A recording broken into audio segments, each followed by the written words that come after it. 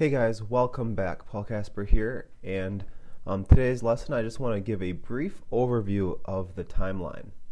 In the last lesson, we actually used the timeline quite a bit, and we created new layers for our fish animation, and we also created folders or layer groups within the timeline. There's also a few other things we can do in here because, as I said before, the timeline is the heart and soul of, of Flash. It's really where we control our animations and make things happen. The first thing I want to show you when it comes to the timeline here, beyond layering and folders, is if you go to the upper right hand corner here of the panel, you can actually change the preview size of these little boxes which are known as frames. So again, Flash is measured in frames per second. So when we create our illustrations and our animations, we are going to measure them in frames we are going to do a lot of clicking of these little frames and sometimes it's a little bit hard to get them um, to actually grab the frame itself. So by clicking down over here we can actually change the preview size of the clickable area of these frames. So by default it's going to be normal. You can bump it up to medium and now notice how our size enlarged here a little bit. A little bit easier to click and especially right click on because we get all kinds of fun options when we right click on our frames. If you wanted to, you could even go up to large, which gets bigger, and preview. When you go in the preview, you can actually see the artwork on each frame as it shows up over time. I'm going to just go right back down to the medium, make it easier for you guys to see, and also easier to click. So, there you go as far as previewing the timeline. Of course, you can scrub across with this little scroll bar if you happen to have a long animation. I've got a few things set up here just very basic to give us a little bit to work with. Again, flash is measured in frames per second, so we've got a little frames per second indicator here. If you wanted to change the frames per second, say from 24 to 12 to lower your file size, you can change it like that. I'm going to keep it at 24. Type it in. Also notice that there's a little number one here. The number one actually indicates what keyframe that we're actually seeing right now. So if I took this little red box, this current time indicator, and scrubbed it across, notice how that number changes. So that number indicates where we currently are in the timeline.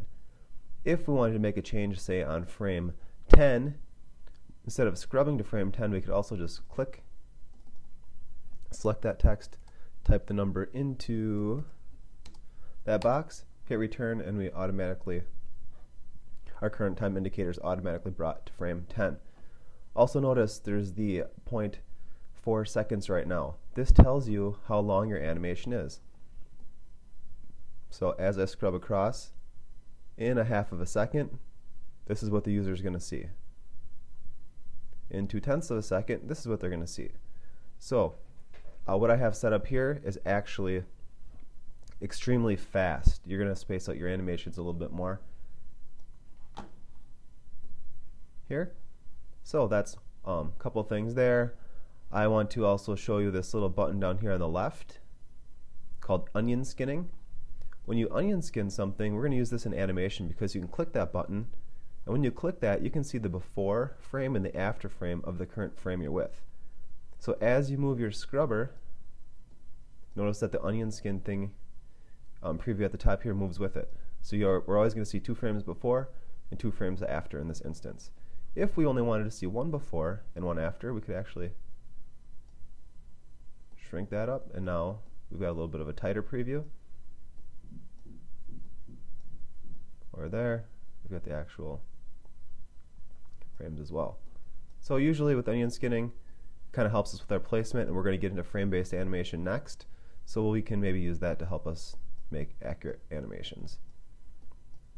Turn that on and off again just by clicking that button. I'm going to turn it off for now and go back to the beginning.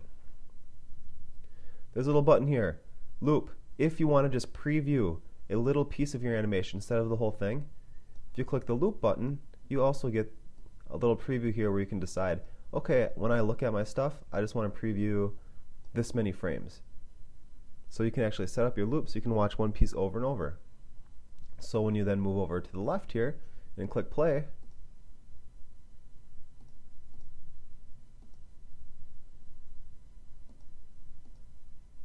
it starts and finishes at the exact spot.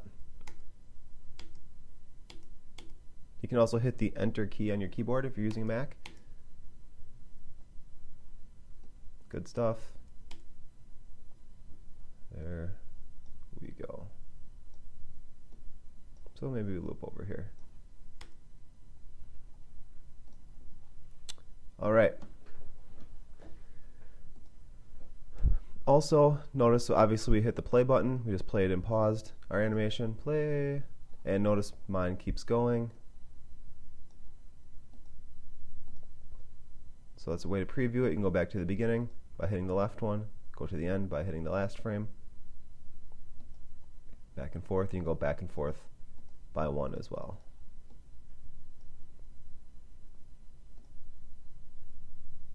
So there's just a little bit about the timeline, and we can't really um, learn much about the timeline without learning about these things here at the top.